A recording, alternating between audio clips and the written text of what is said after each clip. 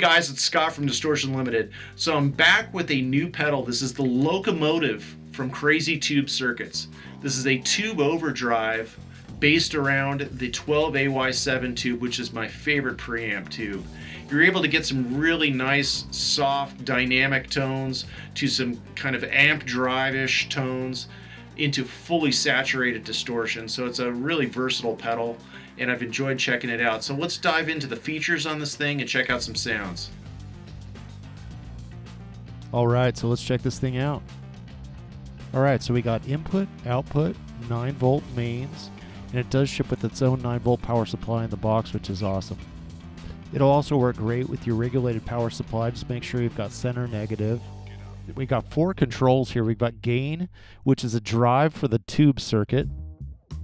Clean, which is a blend control from your direct signal to the overdriven signal, which is great as a bassist. If you don't want to lose any bottom end, you can keep some of that direct signal in there. It also just gives you some more options for tonal variation. The tone control. Counterclockwise mellows the tone out while opening it up will increase the top end.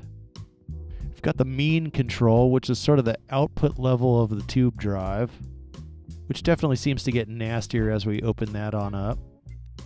It's got a relay driven true bypass. It's got the LED over here. Let's check out the inside.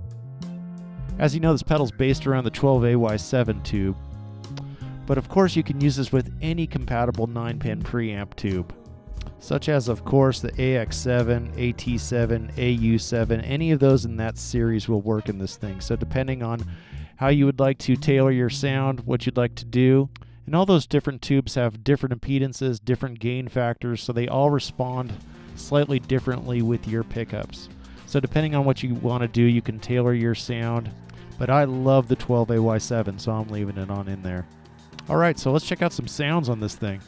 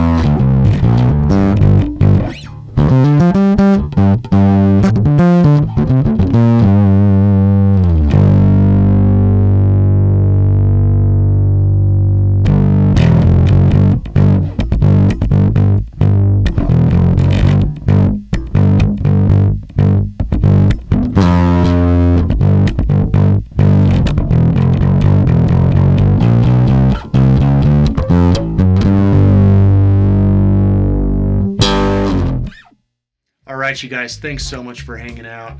So if you're a bassist that's out there, maybe looking for a pedal that can do those old school flip top type sounds to the full on overdrive of the big high power tube amps of yesteryear, this is a great option. Or maybe you've got a, a, new Class D amplifier and you're looking to warm up the front end of it and just leave the pedal on. This is a great option. So I highly recommend checking out the CTC locomotive. Thanks so much, you guys.